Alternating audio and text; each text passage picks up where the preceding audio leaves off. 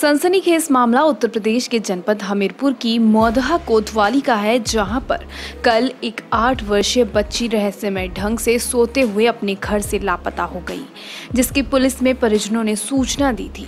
Police की जानकारी के मुताबिक बच्ची गुम हो जाने को लेकर तलाश की थी, लेकिन परिवार के लोगों ने बच्ची के अपहरण की शिकायत दर्ज कराई और कोई अनहोनी होने की भी आशंका जताई थी। पुलिस भी इसमें काफ़ी खोजबीन में लगी रही, लेकिन बच्ची को बचा नहीं पाए आज बाईस घंटे बाद बच्ची का जला हुआ शव मोदहा के एक घर में बरामद हुआ।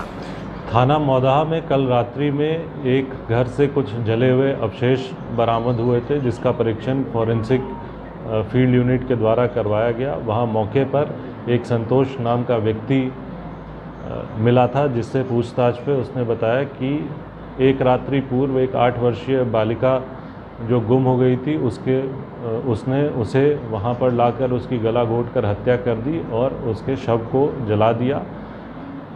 जो संतोष नाम का व्यक्ति है, ये अंधविश्वासी प्रतीत हो रहा है और इसके इकबालिया बयान के आधार पर इस, इसे गिरफ़्तार कर लिया गया है और गहनता से पूछताछ की जा रही है और इसमें फॉरेंसिक एविडेंस भी कलेक्ट किया जा रहा है। इस संबंध में पुलिस अधीक्षक ने बताया कि अपराधी युवक जादू टोने का काम करता था, जिसका सामान भी वहाँ से बरामद हुआ है। घटना के बाद परिवारजनों का रो रो कर बुरा हाल है। चाहे कहीं भी रहें, अपने शहर से जुड़े रहें और अपने शहर की हर खबर के लिए डाउनलोड करें local live app. Google Play पर उपलब्ध।